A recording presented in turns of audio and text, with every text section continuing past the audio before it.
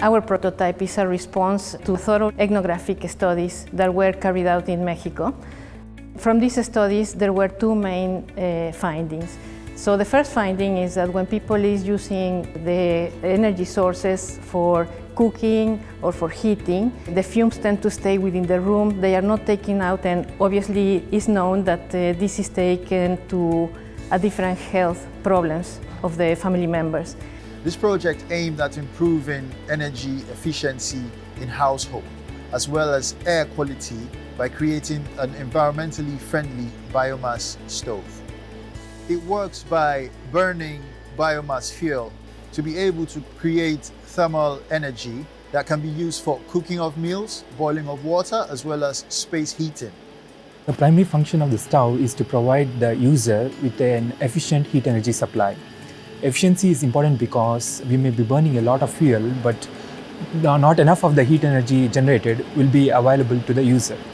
So in this uh, stove prototype, we have tried to ensure efficiency by using engineering and stove design principles.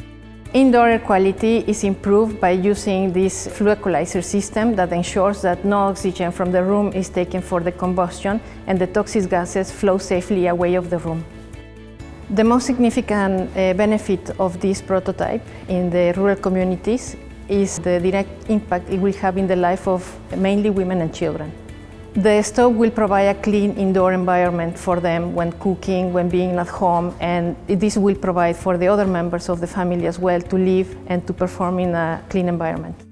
Well, to get to this prototype and to this point, obviously there is a thinking process behind.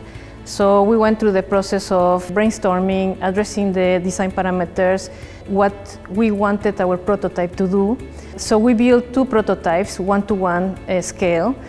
We learned from them, and once we were happy with the result, we built um, carton one, where we could check ergonomics, how it was going to be inside, and identify potential problems. So once we were happy with that one, we moved to do the one-to-one -one that you have seen working disciplines across the theme have been working together in a successful way. For example, design, engineering, social sciences, everybody had their input together, their contributions. I think the result was uh, really good.